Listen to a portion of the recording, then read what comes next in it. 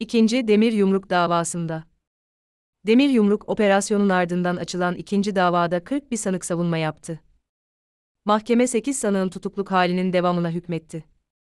Demir çelik sektöründe paravan şirketler üzerinden kamuyu zarara uğrattığı iddia edilen firmalara yönelik Demir Yumruk operasyonu sonunda açılan 46 sanıklı ikinci davanın görülmesine devam edildi.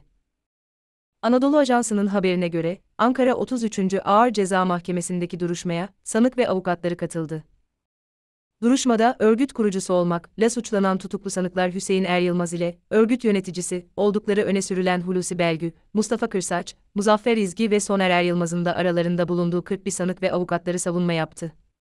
Ardından ara kararını açıklayan mahkeme, mazeret bildirerek duruşmaya katılmayan 5 sanığın sonraki celse dinlenmelerine karar verdi sanık ve avukatlarının bazı taleplerini kabul ederek bu kapsamda ilgili kurumlara yazı gönderilmesine hükmeden mahkeme, tutuklu 8 sanığın bu hallerin devamını kararlaştırdı. Duruşma 25 Kasım'a ertelendi. Ne olmuştu? Demir çelik sektöründe paravan şirketler üzerinden sahte faturalarla kamuyu 25 milyar lira zarara uğrattığı iddia edilen firmalara yönelik olarak 28 Haziran'da Demir Yumruk operasyonu düzenlendi. Ankara Cumhuriyet Başsavcılığınca, suç örgütü kurucusu olduğu iddia edilen Hüseyin Er Yılmaz'ın da aralarında olduğu 46 şüpheli hakkında iddianame düzenlendi. İddianamede Er Yılmaz ile örgüt yöneticisi oldukları iddia edilen Hulusi Belgü, Mustafa Kırsaç, Muzaffer İzgi ve Soner Er Yılmaz'ın suç örgütü kurmak tam 4 yıldan 8 yıla, suç örgütü kapsamında zincirleme şekilde kamu kurumlarına yönelik dolandırıcılık tam 10 yıldan 35 yıla kadar hapiste cezalandırılmaları istendi.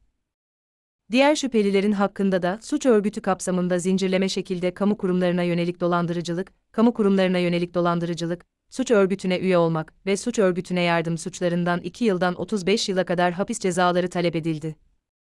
Aynı soruşturma kapsamında tutuklanan sanıklar Erol Evcil, Eşrefoğlu, Hasan Kabuklu, Fırat Ardıç ve Tolga Demirel'in de aralarında bulunduğu 17 sanıklı 1. Demir Yumruk davası ise 23 Kasım'da Ankara 21. Ağır Ceza Mahkemesi'nde görülecek.